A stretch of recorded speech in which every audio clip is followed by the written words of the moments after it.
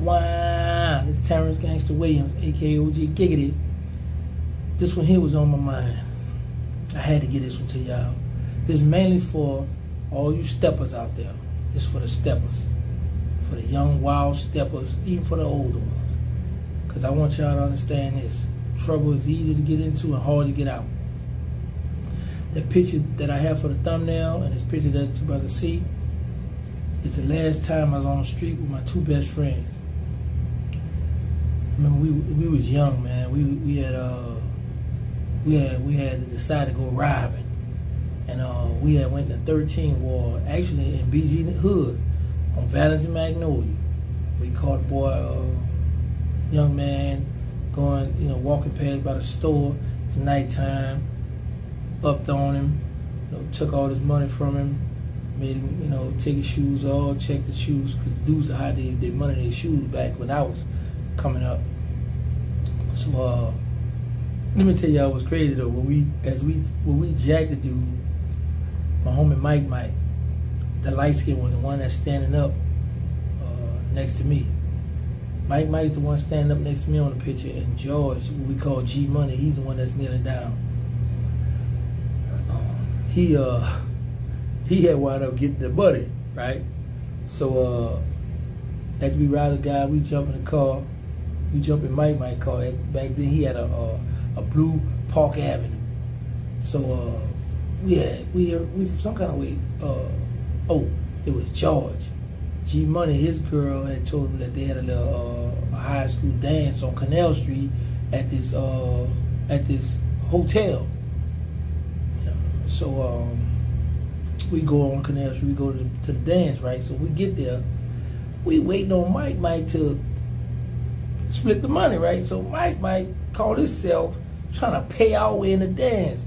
And me and George said to say, ho, ho, man, give us our money, man. We need to split that, man. You around here trying to hold the money and all this old stuff here. He just started laughing. But uh, we ain't hit that much. We hit, maybe it was like about good 1200 anywhere from 1200 to 1500 somewhere but there. it wasn't a lot of money but back then it was a, you know, something for us we were young and um you know, freshly we went off in a dance, and um, you know, we hung out. But uh, the last time I had got a chance to hang out with them, that was February of 1992. And the reason why I'm bringing this up is because they got locked up April of 1992 was it March? March or April 1992 for a homicide they didn't commit. Now the third war was beefing with the 10th war. And it was back and forth. 10th war come ride through the Magnolia. They'll ride through the Melpomene Project, do their thing. You know, Magnolia go ride through their project. Melpomene go ride through their project, do their thing. You know, because uh, actually in that war, a lot of lives were lost on both sides. So, um, so happened someone someone uh, went through St. Thomas Project, the 10th ward, and um, cut loose open fire. Well, one guy was killed, one guy was hit up. One of the guys was hit up. I was actually in juvenile jail with him, Teddy, out the 10th ward. So uh, I don't know how he come up with the idea that uh, Mike and George did this, but he pointed them out. Now, uh, 94 come around, I had wound up coming, coming back to the parish for a homicide, and I was on a tier with Mike Mike. One of Mike Mike uh, homies of the mail in on the tier. So uh, Mike was the tier rep at the time, and I was hanging out in the hallway with Mike Mike. Tier rep means someone who runs the tier, who feeds everybody their food, uh, make sure the tier be clean and all that stuff. So uh, I'm hanging out in the hallway with my, with, with my big bro. So Mike tell the homie out of the project, man, why you ain't send me some money while you was out there getting that money, hustling and stuff? He was like, man, I was trying, you know, he came with little story. So we hang, you know, we just, he just telling us about what's going on, on the streets. He said, man, you know they got y'all down bad. He said, man, that was such and such, such and such, and such and such. And me and Mike look at each other. But at the time, you know, ain't nothing we could do about it. So they go to trial, get found guilty.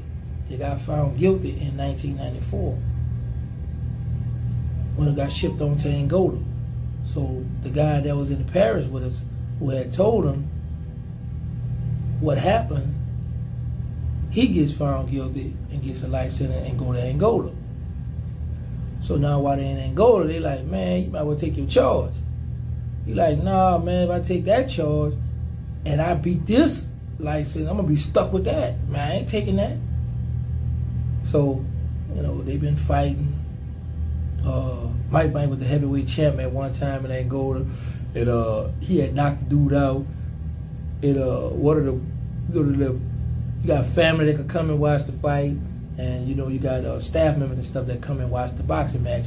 Because in our state, they travel from uh, prison to prison boxing and fight for the belt and stuff. So uh, Mike Mike knocked the guy out, then uh, they was cheering for him, so he blew a kiss. Uh, uh, he kissed his hand and blew a kiss at the at this white woman, and he didn't know it was the warden's wife. So they locked him up, put him in a hole, and took his belt. So he got he just stopped fighting. But he he trained guys to this day that that are in Angola. G Money George went on to be a prison uh, lawyer. Whereas when you get a write up before you go to the kangaroo court, you know, he'll see what your write up is, and he'll he defend you to try to get you get you charged throughout or get you less you know whole time or whatever good time he could get for you. That's what he do now in Angola. Um, I just spoke with him recently. You know, um, I have a picture of him too that I'm going to post for you all to see. Still in good spirit. They, you know, they doing good. They okay. Um, things looking good for him now. You know, with all these new laws that has come out, but um, they have been locked up for 30 years, man, for a homicide they didn't. They actually didn't commit, and once they get out of prison, this life sentence get overturned, Mike might have to go to the feds because he got caught back in the days, back in the, back in February, not, not February, uh, I want to say April around that time, for all the guns that we had. And he wound up going to the Fed, uh, but the state had him first. Well, the feds had him stay. I don't forget. I don't know how it went, but I know he had to go through ten years once he get that license back. So this man, this man has did 30 years. Ain't no time credit circuit. The Fed want all theirs. So once he leave Angola, now you got to go over to the Feds and do 10 years, eight years off the 10. This man got to go do eight years off the 10 years, man. So for all you steppers out there that's doing that stepping, that's wilding, man, you know, there, you know how people always say, man, ain't no innocent people in jail. Some people say, man, they, they got people in jail who really ain't do crime.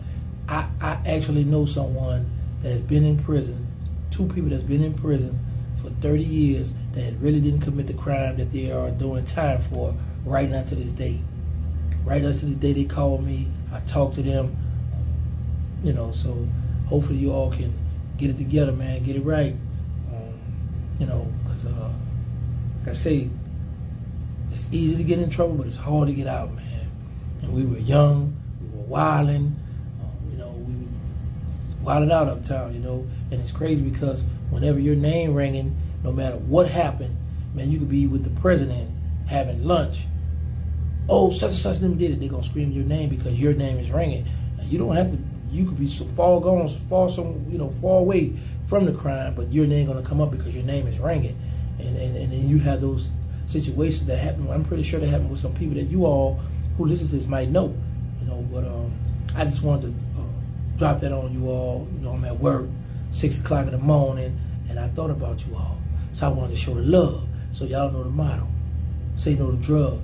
Stop the violence. Let's put the guns down and let's reach out to this area as you. Man, thank y'all for hanging out with me. Thank y'all for uh, tuning in. You know, much love.